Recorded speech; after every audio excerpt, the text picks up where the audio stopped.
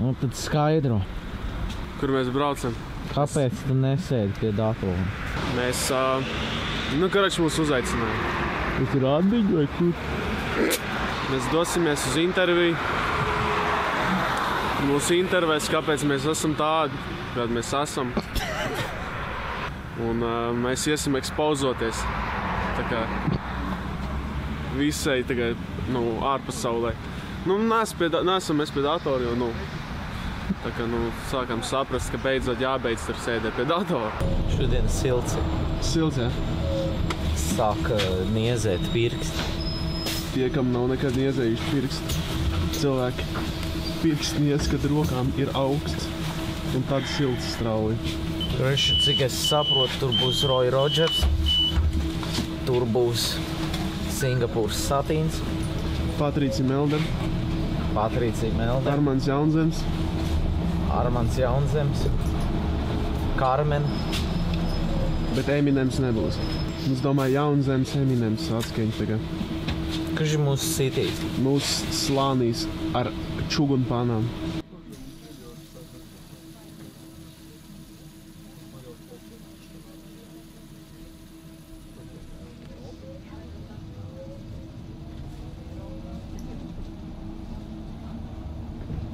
Viņš tikko policija. Jā, tur, tur Te filmēt nedrīkst filmē. Un tieši priekšā policija. Un Tas bija ļoti tuvu, un mēs gājām zvakt. A, kur tu dodieties?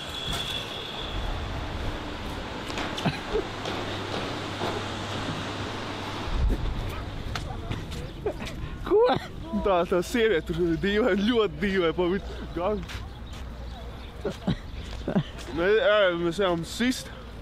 Ko tad? Domā, ej, kur? Maskačs.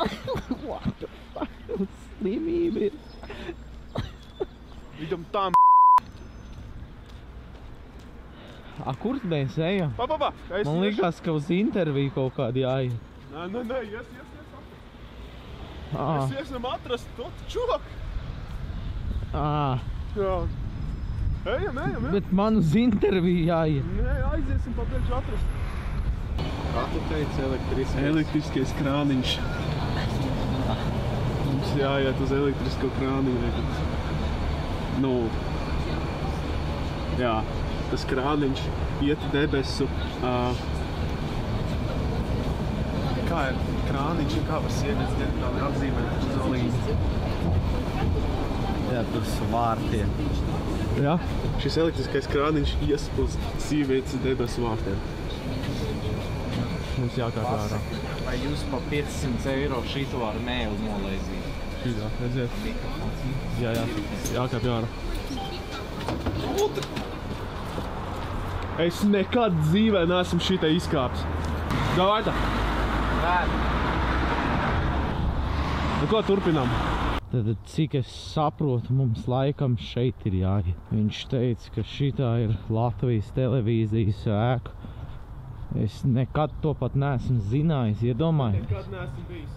Vienkārši tur augšā rakstīts ir uh, LG ķipa. Tāpēc es visu savu mūžu domāju, ka tur LG televizors pārdod. Nu nevis pārdod, bet uh, rūpnīca ķipa viņiem kaut kāds headquarters tas ir. Vai kaut kas tāds. Nu, Bet- man liekas, šie Latvijas televīzijas mums Ā, reku ir. Ah, jā. Jā, reku ir. Es reāli nezināju to. Jūs redziet, Latvijas televīzija. Viņš tagad biznesmenis zvanīs. Es ceru, ka mēs varēsim filmēt kaut ko iekšā, bet es šaubos kaut kā godīgi saku. Ā, reku tur laikam ir zīme, ka nevar filmēt. Šī starptautiskā Latvijas te televīzija. Liekas, Startautiskā. Ej, nu, vajag, vajag višķiņ piefantazēt. Nu, Paskaties, te ir luksus sajūta uzreiz. Šis ir sarkanais paklājs, par kuru mēs nedrīkstam iet, tur bomži nevar iet. Liekas. Šī te iesēžās. Jā, Apsēžās šajā. jā. Un kaifu. Šī tā, jā. televizoru reizē rāda.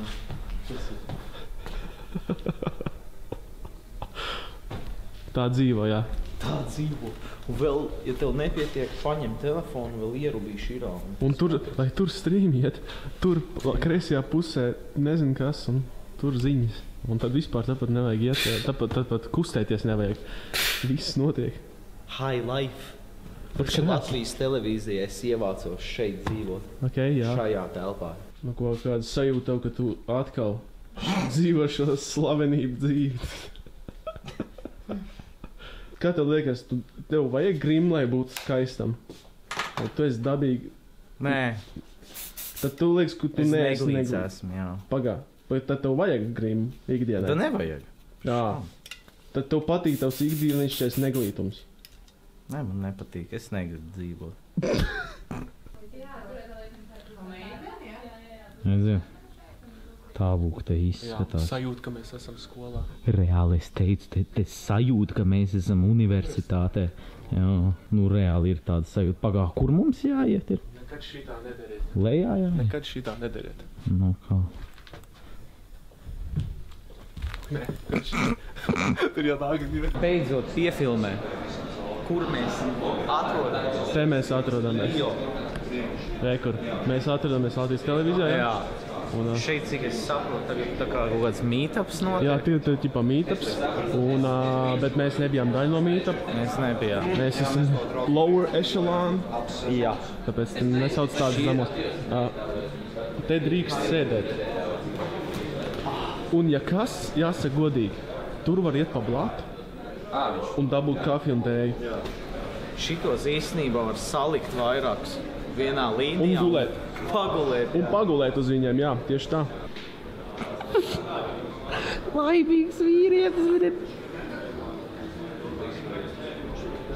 Tad reku viņš paņēma kafiju, redziet? Tā kafija pirmkārt ir sarkana. Otrakārt, tas ieliek septiņas eh, kubikas cukuru tur iekšā. Nu, fokusējies. Tas ir kā pofīgi. Bet, ņemot vērā pieredzi, ok, līdz šim ir it kā interesanti. Skaļāk.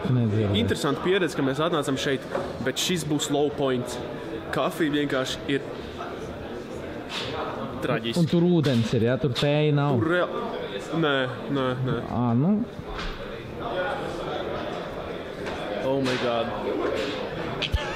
Filmēt nevar, bet es filmēju. Uh, mm, mm, uh. Ah, ok.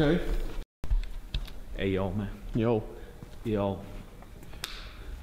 Jau, oh, oh. Mums spēk. Paga, uh, kaut kad būs. Es nezinu, kad šis video būs laikam pirms tam, kad viņi jau Tas, tur bija tā, bija intervija stāsti. uh, par bullying būtībā. Ja. Jā. Um, es nezinu, vai varēja redzēt. Nu, karač, jā, mēs tur bijām, sēdējām, runājām, un uh, mēs bijām pirmajā daļā. un Tad, tagad paliek cilvēki vēl uz otro daļu. Un, jā, Jā, redzēsim, un, kā būs. Man liekas, bija forši. jā, man liekas, bija forši. Beigās bija viņa augsts palika. Un, uh, nu, tas bija vismaz man. Jā, man, Kāda meitene vai? Kādam. Ja, pa... Bet jā, un karočē bija krūtījās satikām visus krūtos cilvēkus, un uh, Zini, kā saruna bija par, uh, par bulīsmu, par troļošanām un tam līdzīgi. jā, Jā. izcils tēmas. Nu, bija 50 pret 50, it kā, Jā. jā, nu, par un pret.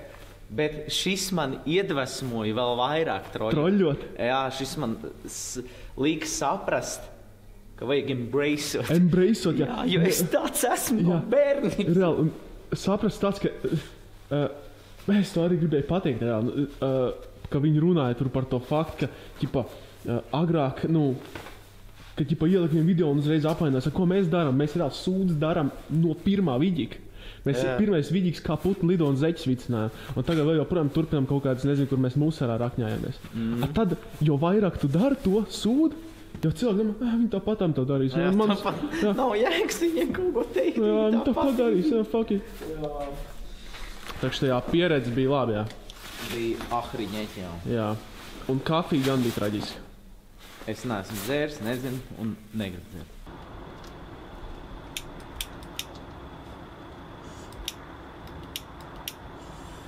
Tev, tev, tev reāli ārstēties jāiet.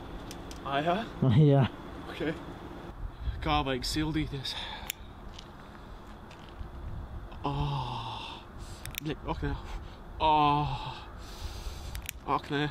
Ak, nē. Nē. Ak, nē.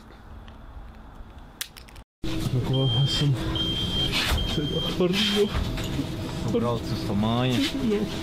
Es ieliku Instagramā to pašu jautājumu, vai viņi par 500 eiro nolaizītu to roku. Nu, nu. Reāli daudz cilvēku to darītu. Ja? Jā, kas jums skaiši? Es, tur jau tas prikals. Skat, es, jā. Paņem papīru.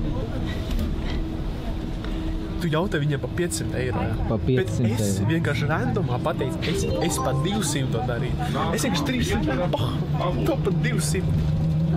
Lētais, vai?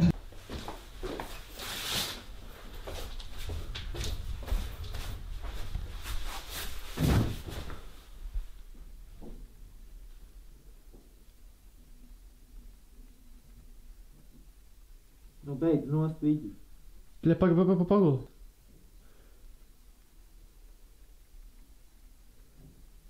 pagul. Viņš ģipā pasaka, lai tur laiks ir. Paga, paga, paga, lai, paga, lai, paga, lai šitas vēl ir.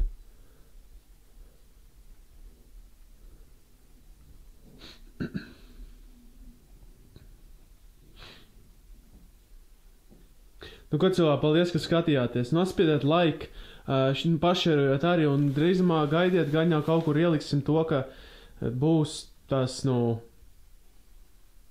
tajā kanālā tur kaut kas pašērosim tur bišķi. Un, um, Nu, Garš, galvenais, vi- pats galvenais ir spiediet laiku šim video, un tas viss. Es beigšu pēc piecām sekundēm video. Šis viens, divi, trīs, četri, pieci. Viss. Beigšu tagad spiežu pogu.